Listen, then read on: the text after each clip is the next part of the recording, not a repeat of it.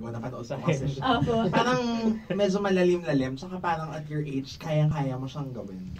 Um, siguro rin po sa experiences, sa observations, ganun. Pero mas experiences din po siguro. Iba-ibang level lang naman po eh. Kailangan mo lang naman po talagang parang ipasok. So, ang inaantay mo na lang ngayon ay TV project kasi may I Want ka na, may movie na. Sana po. Opo. Congratulations for TJ Thank you naman. po. Kasi parang, and alam namin na nag-start ka talaga with GMA, di ba? Yeah. And then parang, medyo konti lang yung naging projects mo sa ABS and then you went to Indonesia. Yes. Parang how were you able lang to get the role and bakit ka bumalik din in the Philippines to do it? Well, natapos na kasi yung ginawa ko dun, um, Meteor Garden version sa Indonesia. So sabi ko, nag-request kami ng bakasyon. Ako nag-request ako ng bakasyon kasi na homesick na rin ako. Parang almost 3 years na ako pabalik-balik sa Indonesia. Tapos sabi ko sa manager ko, parang gusto kong gumawa ng project dito sa Philippines kasi ayoko naman na nakakalimutan ako ng tao na parang, why wala na siya ginagawa dito? Ano ka na lang ba? Vlogger ka na lang ba? Nag-YouTube ka na lang? Parang ganun.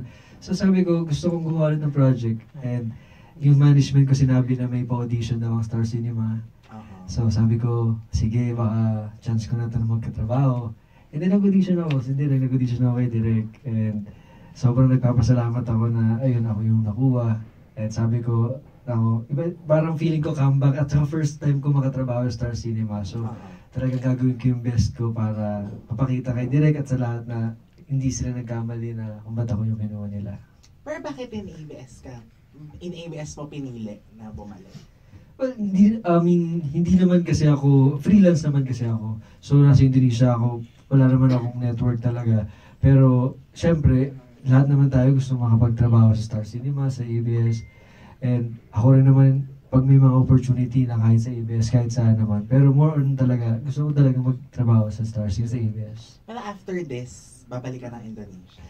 Dapat actually nung September pa, pero dahil na-move na ng move, na move, tapos may mga promo pa, dito muna. And then, may, since meron pa rin naman akong pinag-uusapang gagawin, so dito muna. Kasi parang ako, syempre, there's no place like home. Iba pa rin yung Pilipinas. Mahal na mahal ko yung mga dito, tsaka yung mga sumusuporta sa akin dito. Kaya gusto ko naman pakita sa kanila na hindi lang ako dun kilala sa ibang bansa. Gusto ko rin na dapat sa sarili kong bansa, kilala rin ako. And then last question para sa inyong dalawa ni Jillian. Kasi na-mention ni Direk na parang gory and madugo. So how did you deal lang with doing those bloody scenes sa Ako, movie? Sa totoo lang, ako sa dugo. Ayoko po talaga nung makakita ng dugo na talagang pulang-pula. Yung parang ganyan. Pero ayun po, dahil naman po si Mia, ang character ko, pinasok ko na lang po siya. Tapos, alam ko po kasi yung pinanggagalingan niya eh. So, talagang pinasok ko na lang po yung character. I forgot myself. ayun. Ayun po. Ako naman, um, well, lagi ko naman sinasabi, mahilig kami sa mga nakakatakot, nakakilabot, zombie, lahat na pinapanood ko.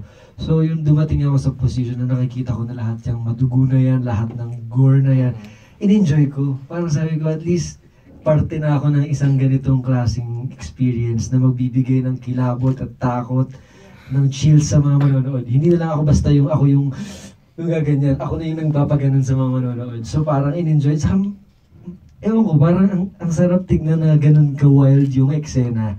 Talagang paglabas nyo ng sinihan, talagang sasabihin nyo na, hindi, ah, yung talaga, yung mapapahinga kayo, na mapapagod kayo, dadali namin yung experience and journey, pagod at saka kaba. Lahat, tri, matitrill talaga kayo. Okay. Thank you po and congratulations. you. Good luck po, Direk. Thank you. Thank you. Yan. Next po. After that. I just have one question for Derek. Um, I understand na kapag horror, kailangan ng expertise niya na, no? So, based, of course, based sa mga nagawa mo before, parang dito ka nalilinya. I just wanted to know, pa paano nag-start yung fascination mo sa mga horror and thriller movies? Ayun. Ah, bata, nung bata pa lang akong mahilig kasi ah, favorite ko kasi yung Are You Afraid of the Dark dati nung bata. So, actually, grade school pa lang ako, meron akong sariling midnight society sa ano ko, sa subdivision namin. So, ito mga chinalo, chinalo. Ah, yung mga Are You Afraid of the Dark, EV Indiana, ganyan, Twilight Zone. So, may ako manood talaga ng mga ganyan. So, may fascination ako sa horror. Until, um, Um, until nagkaroon nga ng chance na makagawa ako ng first feature film ko which was uh, a horror movie ng Balik Diwa. And then actually nasundan na siya nasundan na siya 10 years after na nagkataon nagkataon 10 year parang 10 year anniversary ng Numbalik Diwa. Kaya naisip ako gumawa ng horror ulit. So with those two movies, with those two movies um nagkaroon ng ano, parang parang pinagkatiwala sa akin ng ng Star Cinema tong isang horror project which was my third film. So ayun na nga. Ang nangyayari ngayon is nalilinya na ako sa horror which uh, parang konti-konti ah niyayakap ko na siya. and towards towards ano, towards improving and get and making more and making better horror uh, horror films. Pero ayun nga eh, ang sinasabi nga natin, I had two horror movies but this one is medyo iba siya kasi nga ang tag dito it's a supernatural. It's a supernatural thriller. So more thrills and uh, more thrills and gore ang ibibigay natin dito. So it's more of a it's more of a family story than just uh, than just a horror movie with ghosts and scares. Pero talking about scares, ah on your part, is it difficult ba to parang manakot ng ng audience? Mahirap, Oo. mahirap talaga kasi kanya-kanyang ano yan eh. Kanya-kanyang timpla yan eh. Mm. So alam alamin mo kung ano ang gusto mo para sa ano, para sa kwentong ito din tsaka sa ano, sa style ng story mo. Kasi minsan may mga may mga kwento na manggugulat ka. Minsan mapapasobra yung panggugulat mo. And there are certain oh, there's there are certain audiences na gustong-gusto na nagugulat sila pag nanonood, doon sila natatakot. May ibang audience naman na na naiirita kapag sobrang kapag sobrang nagugulat lang sila at hindi sila kinikilabutan. So um so kailangan ko talaga mag-decide kung paano ko titimplahin tong eksena ng totong kwentong to na magbibigay ng tamang feeling kung kilabot ba ang gusto ko, kung gulat ba ang gusto ko. Ayun. So, combination talaga siya ng ano eh, combination siya ng technicals and storytelling. Thank you very much. Thank you. Good luck. Thank you. Next, Miss Kate. Um, direct, ay, question lang kasi sabi mo kayo na bloody. So it means na, di ba, pag ganitong movie, medyo messy. Um, gaano ka-challenging yung pag, ano, pag, yung mga ilang kung ilang takes, ganyan, may room ba? Ano, Or, oo. napakahirap. napakahirap kasi ano eh, na, we were working on a limited time, on a limited time frame din. So, kapag, kapag minsan, familiar naman kayo sa ano, 'di ba sa process ng paggawa ng pelikula, minsan hindi in order yung paggawa. Um kaila, kaila, kailangan konti lang yung take kasi kapag kapag naduguan na tong artista na to, naduguan na tong props na to, hindi mo na pwedeng ano, hindi mo na pwedeng ulitin. So, ayun nga, minsan pabaliktad kami mag-shoot, minsan minsan gagawin muna yung ano, gagawin muna yung bloody scene and then okay, tapos na set up mo ulit, malinis naman to. So, nakakaano, naka minsan minsan minsan nakakalit nakakalito na rin. Pero marami din bang one take scenes doon? Or kadalasan inuulit talaga? Kadalasan ano, kadalasan inuulit talaga. There are some one take scenes pero ayun, usually usually may mga ano din, mga take two, take three, ganyan. Tapos nabanggit kanina kasi nalilinya ka sa horror. Pero kung tama yung memory ko, nung college kasi sikat yung rom-com mong kapag tumibok ako ah. sa naabutan ko.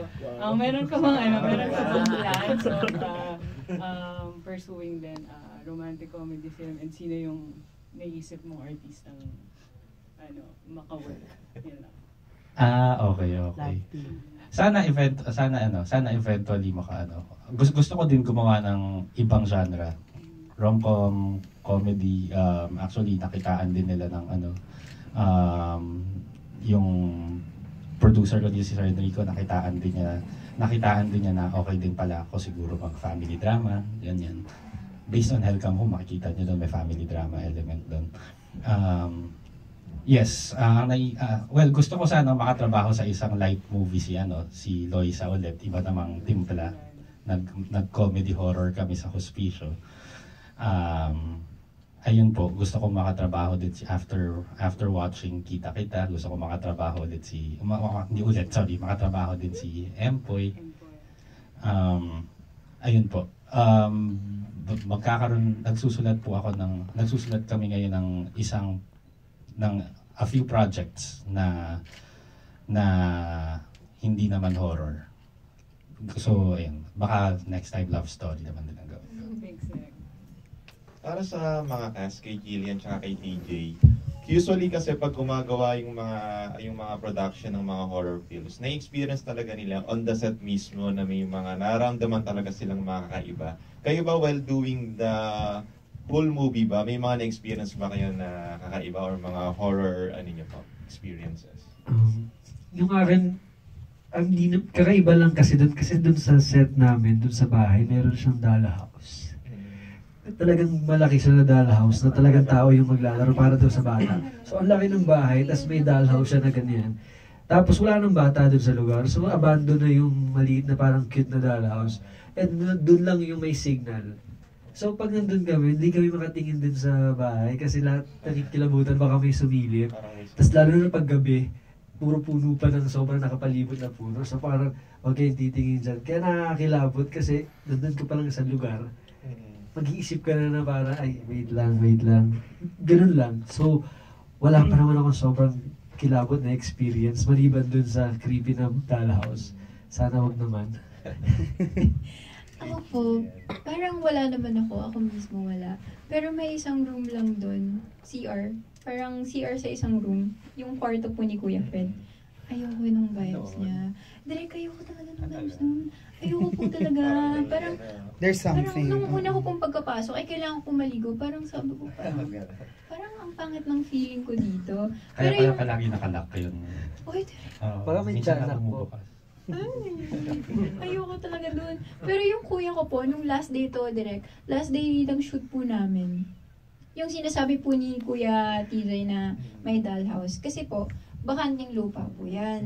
Tapos marami pong puno. Tapos nandun yung dollhouse. Tapos dito parang, anong tawag po doon? Parang may...